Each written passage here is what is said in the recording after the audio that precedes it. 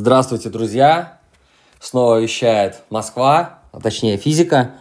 Сегодня будем разбирать все уравнения э, равноускоренного движения и попытаемся понять, как из главного уравнения получить следующее. То есть это уравнение скорости и ускорения.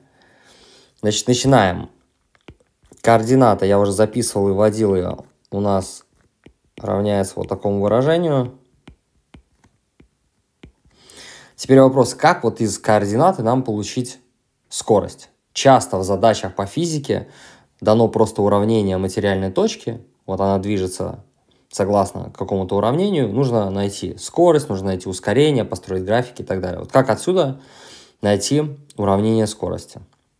На самом деле ничего сложного, потому что скорость по определению это у нас производная от x по времени, а производная от данного уравнения будет 0 плюс v нулевое плюс 2at делить на 2. Значит, все манипуляции сделали, у нас остается v нулевое плюс at. Это уравнение мы тоже с вами видели, ничего сложного.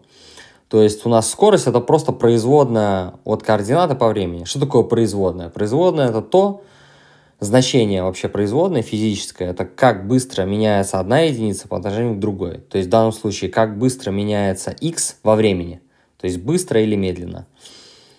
А выражение самой производной от x, вот оно у нас такое. Дальше, как отсюда получить ускорение? Ускорение, в свою очередь, это производная скорости по времени. То есть мы теперь берем выражение скорости и производим над ним манипуляции для того, чтобы сделать производную. Там получается просто 0 плюс а, то есть просто а. Что и следовало ожидать, потому что у нас ускорение во времени не меняется. Это константа. Вот здесь прям так запишем, что это константа. Вот. Значит, что мы получили? Вот мы получили ухо координату, значит, уравнение координаты. Дальше у нас есть уравнение скорости.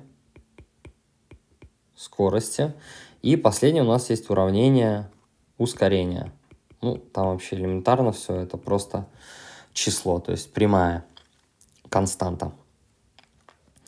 Теперь, что делать в случае, если вы не знакомы с производными? Ну, не проходили еще по математике и хотите каким-то образом все равно вывести скорость из координаты и ускорение из координаты или из скорости.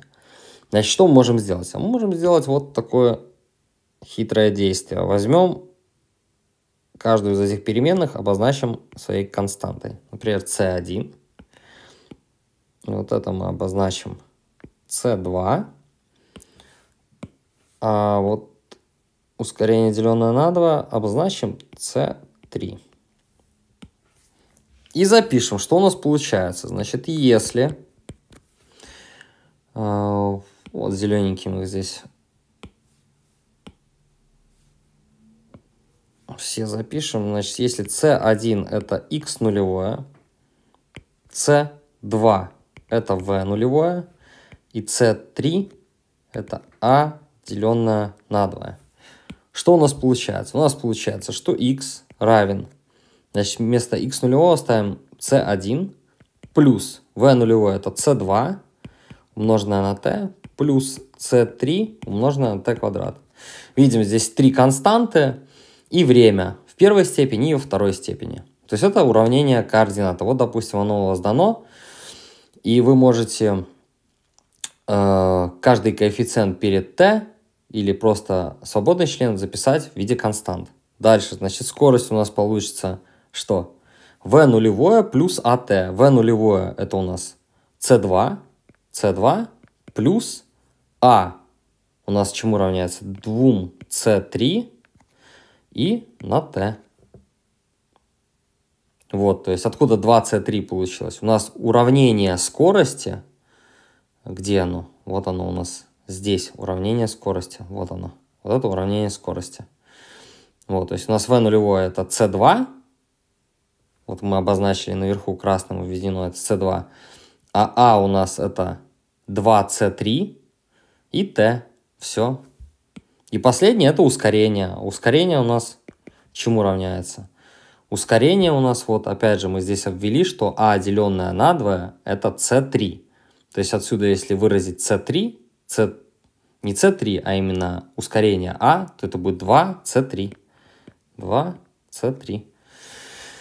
Вот, то есть, если вы не знаете производных, вы можете просто воспользоваться вот таким хитрым ходом, где обозначить каждый коэффициент перед t или свободный член в виде э, вот этих констант c1, c2, c3, и потом просто согласно вот этим формулам, которые я здесь расписал вам, записать все уравнения скорости и ускорения.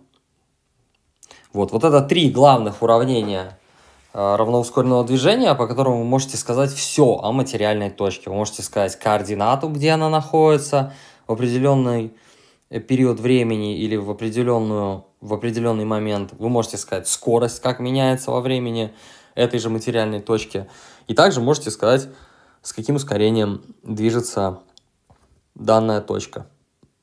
Все, с помощью этих уравнений можно решать практически все задачи по кинематике, средней и даже э, задачи вузов. И это мы в дальнейшем как раз-таки с вами будем делать, будем воспользоваться вот этими формулами. формулами. Спасибо за внимание.